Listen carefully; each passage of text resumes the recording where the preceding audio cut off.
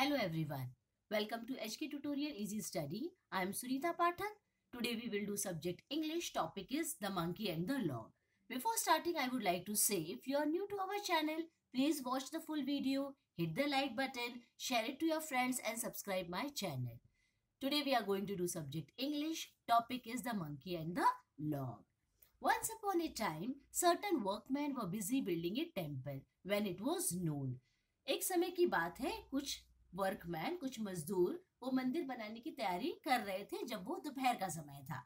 Ram Rao let's go to the town for lunch क्योंकि दोपहर का समय था तो राम राव ने कहा कि श्याम राव, चलो हम लोग लंच ले लेते हैं, थोड़ा खाना खा लेते हैं। Okay Shyam Rao I will just put a wedge here and come तो श्याम राव ने कहा ओके, हम लोग चलते हैं लंच के लिए, लेकिन मैं वेज वेज मीन मतलब एक लकड़ी का टुकड़ा। ये लोग दोनों टेंपल बनाने की तैयारी कर रहे थे, जिसमें लकड़ियों का यूज़ हो रहा था। तो उसने कहा कि मैं आता हूँ, लेकिन जरा ये वेज जो है, उसको मैं लकड़ियों के बीच में रख कर आता हूँ, ताकि ये जुड़ न जाए। Let's hope no one touches that wedge while we are away अब आपको दिख रहा है, एक बड़ा सा लकड़ी का बड़ा सा लॉग ऑफ़ वुड है, जिसमें एक छोटा सा लकड़ी का टुकड़ा बीच में रखा हुआ है। वो इसलिए रखा हुआ है ताकि वो जोड़ जो है, वो जुड़े ना। वो दोनों सेपरेट रहे और जैसे ही उस वेज को निकालेंगे, वो दोनों जुड़ जाएगा और कुछ भी चीज़ जो बीच में रहेगा, वो फंस सकता है। इसीलिए वेज का इस्तेमाल किया जाता है ताकि गैप भी बना रहे और किसी को तकलीफ़ भी ना हो। सडनली ए मंकी अराइव्ड उसी समय वहाँ पर एक मंकी आता है। What is this piece of wood doing here अचानक में उसी लकड़ी पर, उसी लॉग ऑफ़ वुड के ऊपर मंकी चढ़ जाता है और वो छोटा सा वेज जो लकड़ी के बीच में लगाया हुआ है, उसी को वो टच करता है और वो पूछता है कि ये क्या है? I wonder what will happen if I pull it out अभी उसको कोई ज़रूरत नहीं है उस वेज को हटाने की। लेकिन अब उसको ये लग रहा है, मैं देखता हूँ क्या हो सकता है अगर इस छोटे से टुकड़े को मैं हटा लू तो। उफ इट्स टफ जब वो खींचने की कोशिश करता है तो बोलता है, अरे, ये तो बहुत कड़क है, नहीं निकल रहा है।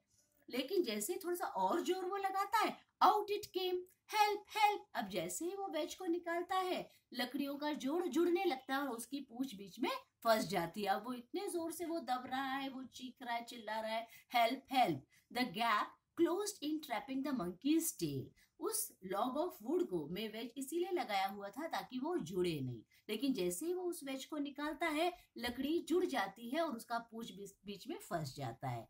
The poor monkey cried in pain poor monkey जो है, वो दर्द में रोने लगता है क्योंकि उसकी पूछ उसमें फंस जाती है। तो इस वजह से उसको दर्द होने लगता है, वो ज़ोर से चिल्लाने लगता है।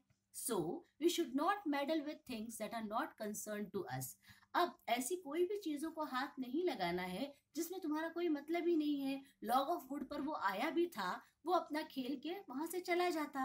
लेकिन क्योंकि ज़बरदस्ती उसने उस वेज को हटाया लॉग ऑफ़ वुड से उसका कोई लेना देना नहीं था। वेज को भी उसको हाथ नहीं लगाना चाहिए था, फिर भी उसने उससे खेला और ज़बरदस्ती उसको बाहर खींचा तो उससे वो खुद तकलीफ़ में आ गया। इससे हमें ये सीख मिलती है कि जो चीज़ की जानकारी हमें ना हो, वो काम में हमें हाथ नहीं लगाना चाहिए। We should always stay out of things which are not concern with us जो हमारे मतलब का काम नहीं है, जिससे हम, जो हमारे मायने के काम नहीं है, उसमें हमें हाथ नहीं लगाना चाहिए।